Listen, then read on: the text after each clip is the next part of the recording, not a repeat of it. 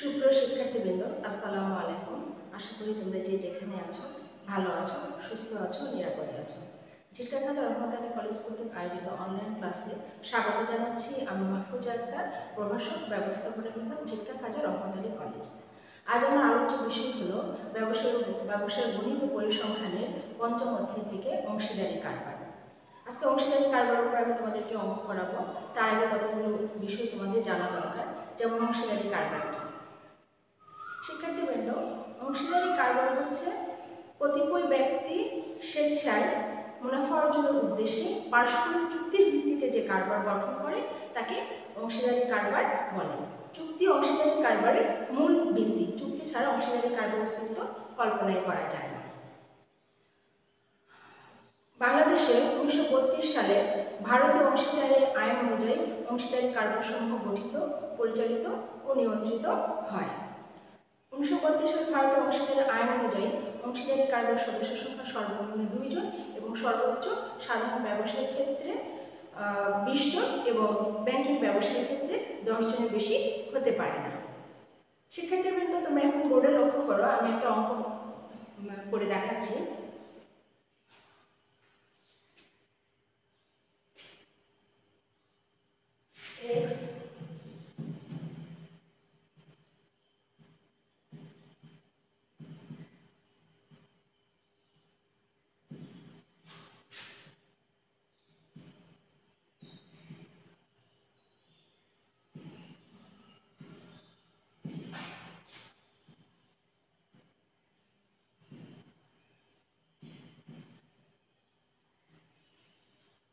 X Y Z তিনজন অংশীদার যথাক্রমে বিশ হাজার।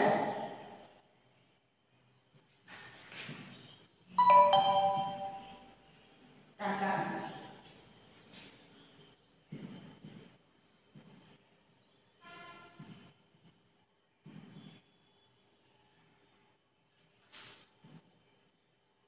টাকা এবং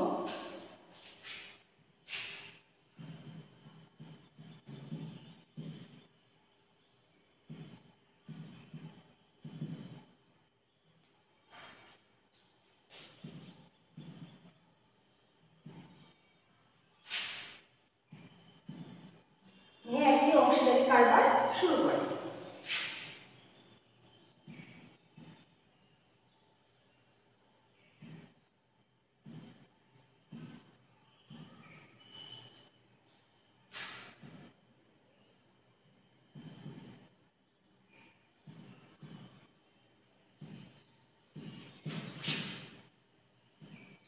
শুরু করে বছর শেষে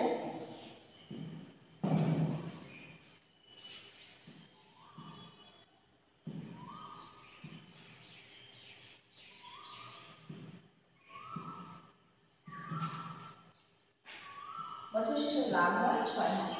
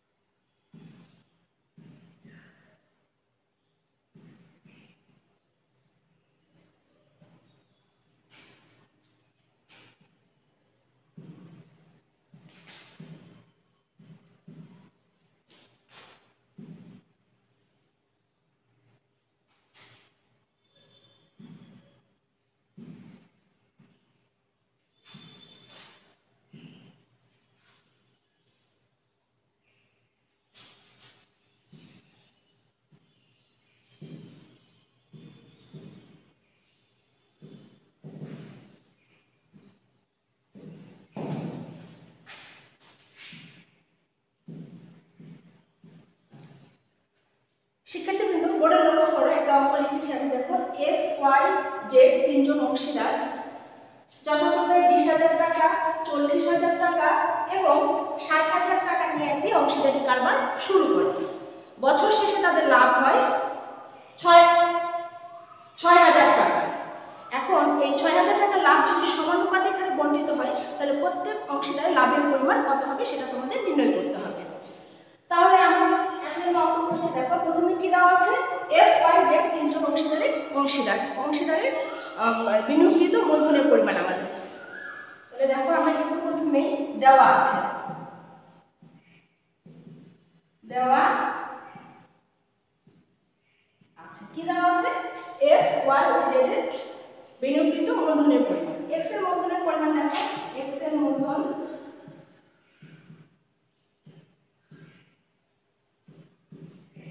এক্সের ইকুয়াল বিশ হাজার টাকা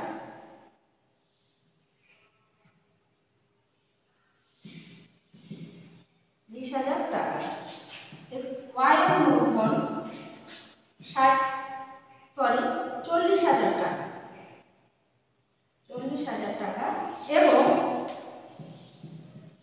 এবং জেডের মূলধন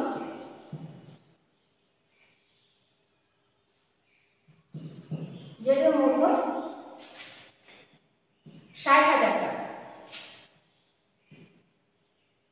ষাট হাজার টাকা এই হলো এক্স ওয়াই এবং জেড এর মধ্যে লিখলাম এখন যে টাকা করতে হবে আমাদের যেহেতু বলছে কি যে সমানুপাতিক হারে বন্টিত হয় এখানে কি বলছে সমানুপাতিক হারে লভ্যাংশ বন্টন করতে হবে অর্থাৎ মূলধন যে অংশীদার যে পরিমাণ মূলধন বিনিয়োগ করছে, সেই মূলধনের অনুপাতে তাদের মধ্যে লভ্যাংশ বন্টন করতে হবে। তাহলে আমাকে প্রথমে যে কাজটা করতে হবে, সেটা হচ্ছে বিশ হাজার টাকা, চল্লিশ হাজার টাকা এবং ষাট হাজার টাকার অনুপাত নির্ণয় করে নিতে হবে। তাহলে এখন শিক্ষার্থীদের লক্ষ্য করো। X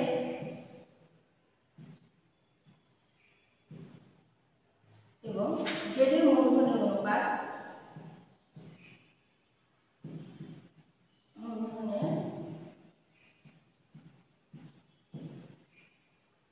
অনুপাত যথাক্রমে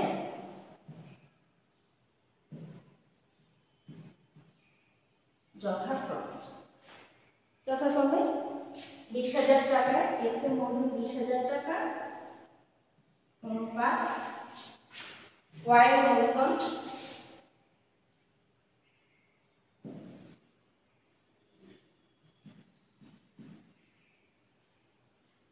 চল্লিশ হাজার অনুপাত জেড এর মূলধন ষাট হাজার।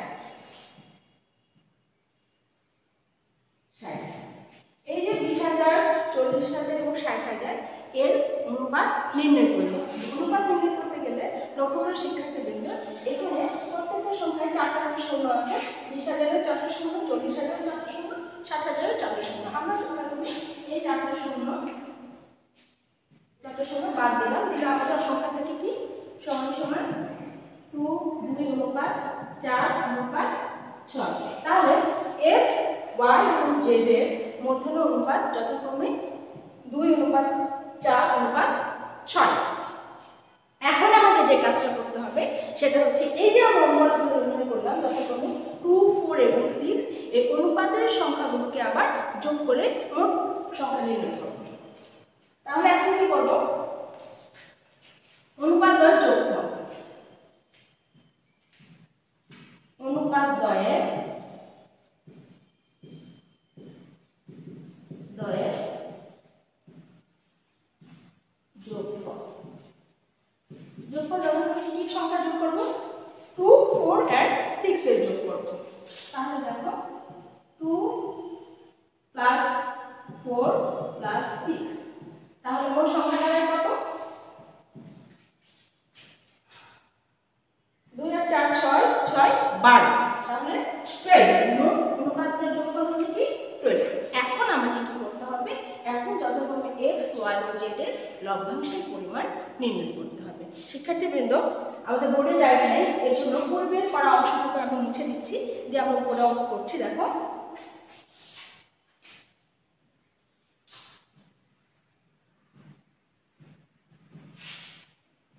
মুছে দিলাম, দিয়ে আমরা ওয়াই এবং জেড এর লভ্যাংশ বের করব। তাহলে আমরা প্রথমে কি করব? এক্সের লভ্যাংশ। এক্সের লভ্যাংশ।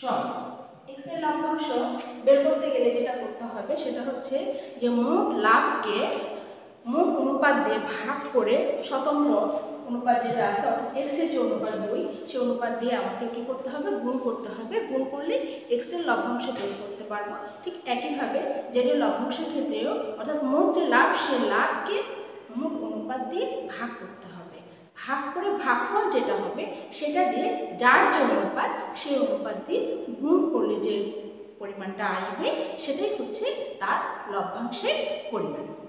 তাহলে শিক্ষার্থী লক্ষ্য করো, আমি বোর্ডে করে দিচ্ছি যে এক্সের লভ্যাংশ। এক্সের লভ্যাংশ বের করতে গেলে আমাদের মোট লাভের পরিমাণটা কত? মোট লাভের পরিমাণটা লক্ষ্য করো, ছয় হাজার। মোট লাভের পরিমাণ কত টাকা? ছয় হাজার। টাকা তাহলে প্রথমে এই ছয় হাজারকে আমার বারো দিয়ে ভাগ করে দিতে হবে ছয় হাজার ডিভাইডেড টুয়েলভ ইন্টু এক্সের অনুপাত কত আমরা নির্ণয় করেছিলাম টু তাহলে এই টু দিয়ে কি করতে হবে গুণ করতে হবে টু তাহলে এখন আমরা ভাগ করি ছয় হাজার থেকে যদি বারো দিয়ে ভাগ করি পাঁচ বারো ষাট। তাহলে ছয় হাজারকে বারো দিয়ে ভাগ করলে আসে পাঁচশো। আর পাঁচশোকে দিয়ে যখন দুই দিয়ে করব আসবে এক হাজার। তাহলে সুতরাং এক্সের লভ্যাংশ কত টাকা আসছে? এক হাজার টাকা। এক্সের লভ্যাংশ কত বের করলাম আমরা? এক হাজার টাকা। এরপরে আমরা বের করব এক্সের পরে আছে ওয়াই এর লভ্যাংশ ঠিক একইভাবে আমরা ওয়াই এর লভ্যাংশ বের করব। ওয়াই এর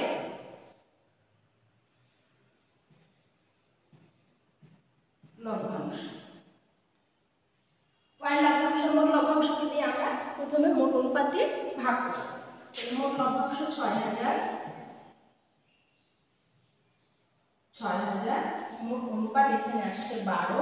বারো দিয়ে ভাগ এবং ওয়াই ওয়াই এর কত? ফোর তাহলে ফোর দিয়ে গুণ করতে হবে। এখন রেজাল্ট কি দাঁড়ায়? ঠিক একইভাবে আমরা ছয় হাজারকে বারো দিয়ে ভাগ করব। ভাগ করলে আমাদের আসবে রেজাল্ট পাঁচশো এই পাঁচশোকে দিয়ে পাঁচশো দিয়ে আবার চারটে গুণ করব চারটে গুণ করলে চার পাঁচে বিশ অর্থাৎ দুই হাজার টাকা আসে দুই হাজার টাকা দুই হাজার টাকা শিক্ষার্থীবৃন্দ নিচে আমি মুছে দিলাম দিয়ে আমি নিচে জেডের লবণ বের করছি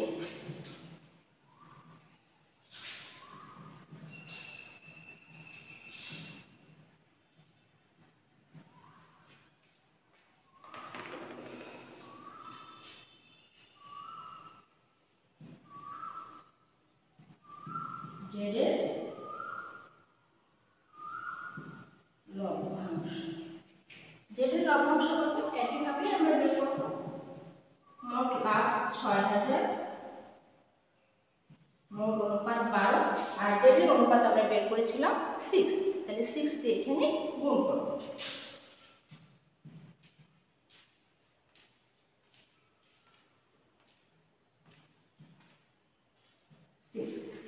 তাহলে লক্ষ্য করো, এখন এই বারো দিয়ে ছয় হাজারকে ভাগ করলে পাঁচশো আসে তাহলে পাঁচশো দিয়ে ছয় গুণ হলে পাঁচশো তিরিশ তিন হাজার টাকা আসে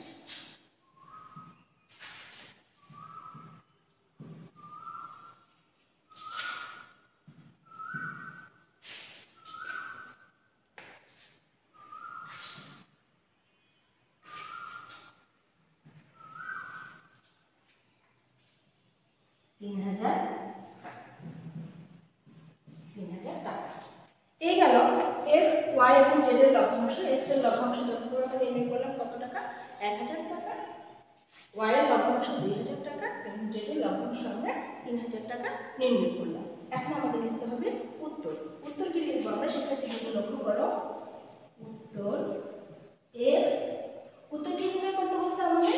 প্রত্যেক অংশটা কত টাকা করে লাভ লাভের অংশ তাহলে এক্স ওয়াই এবং জেড এর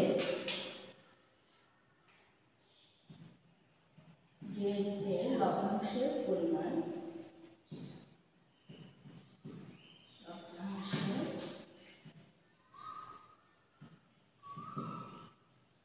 পরিমাণ যথাক্রমে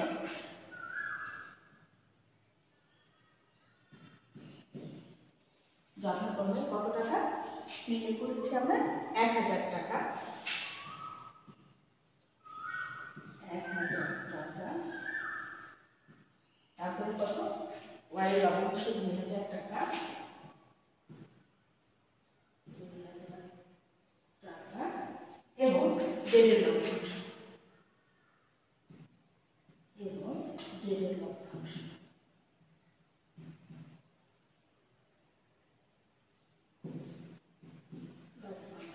তিন হাজার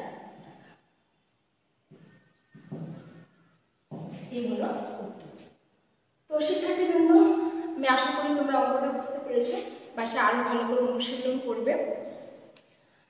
অনুশীলন করে, করলে আশা করি তোমাদের অঙ্কটা আরও বুঝতে সুবিধা হবে। তো আমরা সকলেই জানি এই করোনা মহামারী এখন ভয়াবহ অবস্থা ধারণ করেছে। এই সংকটকালীন মুহূর্তে তোমাদেরকে অবশ্যই আরও কঠিন মানে কঠোরভাবে স্বাস্থ্যবিধি মেনে চলতে হবে। এই আশাবাদ ব্যক্ত করে এখানেই শেষ করছি। আল্লাহ হাফিজ।